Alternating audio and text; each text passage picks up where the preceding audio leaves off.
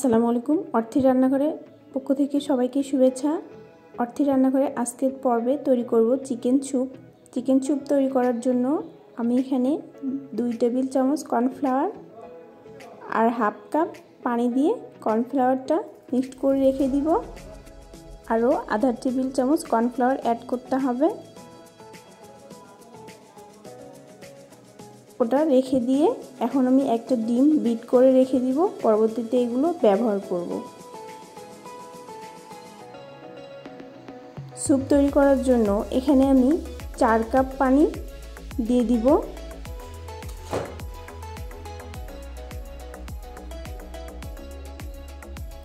আমি এভাবে বাসায় তৈরি করি। এটাই আপনাদের সাথে আজকে শেয়ার করব। চার কাপ পানি দেওয়ার পর এখানে দিয়ে দিচ্ছি চারশো গ্রাম চিকেন, হাফ কাপ গাজর, এক টেবিল চামচ আদা রসুন বাটা, হাফ চামচ গোলমরিচ। অবশ্যই দেওয়ার চেষ্টা করবেন। হাফ চামচ লবণও দিয়ে দিয়েছি।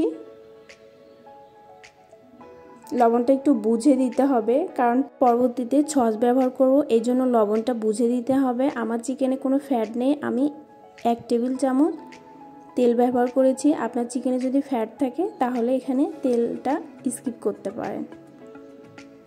অবশ্যই ঢেকে দিতে হবে। চিকেনটা সিদ্ধ হওয়ার জন্য একটু নেড়ে চেড়ে দিচ্ছি। আমি এভাবে বাসায় তৈরি করি, এটা খুবই মজা হয়। আমার পরিবারের সবাই পছন্দ করে। আপনিও চাইলে এটা ঘরেই তৈরি করতে পারেন। স্বাস্থ্যকর একটি খাবার। বাচ্চারাও এটা অনেক পছন্দ করে এবং বড়রাও অনেক পছন্দ করে।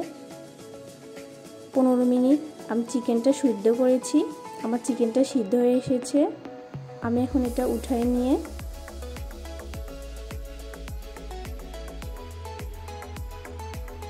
চিকেনটা আমি এভাবে ছোট ছোট করে নিয়েছি।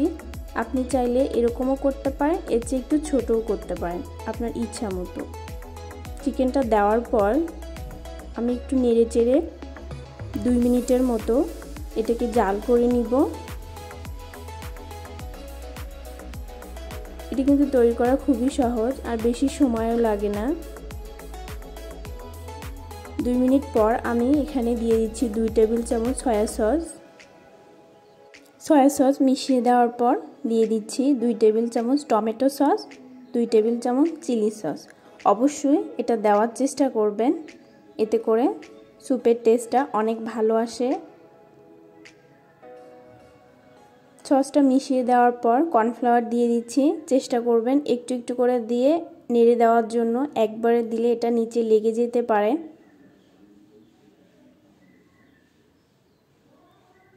মিশিয়ে দেওয়ার পর দিয়ে দিচ্ছি হাফ টেবিল চামচ গোলমরিচের গুঁড়া। আপনি যদি এক্ষেত্রে গোলমরিচের গুঁড়া না দিতে চান, তবে এটা স্কিপ করতে পারেন। আমার কাছে দিলে টেস্টটা অনেক ভালো আসে। আমি যেভাবে কর্নফ্লাওয়ার দিয়েছি, ঠিক একইভাবে এখানে ডিমটা দিয়েছি। আগে থেকে যে বিট করে রেখেছিলাম ডিম, সেটি একটু একটু করে দিয়ে এভাবে নেড়ে চেড়ে নিয়েছি। আমার চুপটা এখন প্রায় হয়ে গেছে। ত্রিশ সেকেন্ডের মতো ডিমটা মিশিয়ে নিয়েছি। এখন দিয়ে দিচ্ছি কিছুটা এক্সপ্রেন, অনিয়ন, আবারও তিরিশ সেকেন্ডের মতো নেড়ে চেড়ে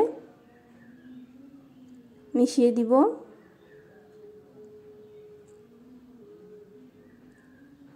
তিরিশ সেকেন্ড পর দিয়ে দিচ্ছি দুই টেবিল চামচ লেবু। অবশ্যই লেবুটা দেওয়ার চেষ্টা করবেন, এতে করে চুপের টেস্টটা অনেক ভালো আসে।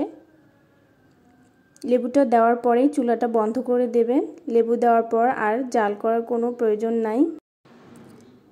আমার চিকেন স্যুপ একদমই রেডি আশা করি আজকের এই রেসিপিটা আপনাদের ভালো লেগেছে। যদি ভালো লেগে থাকে অবশ্যই একটা লাইক দেবেন আমাদের চ্যানেলটি সাবস্ক্রাইব করে আমাদের পাশেই থাকবেন।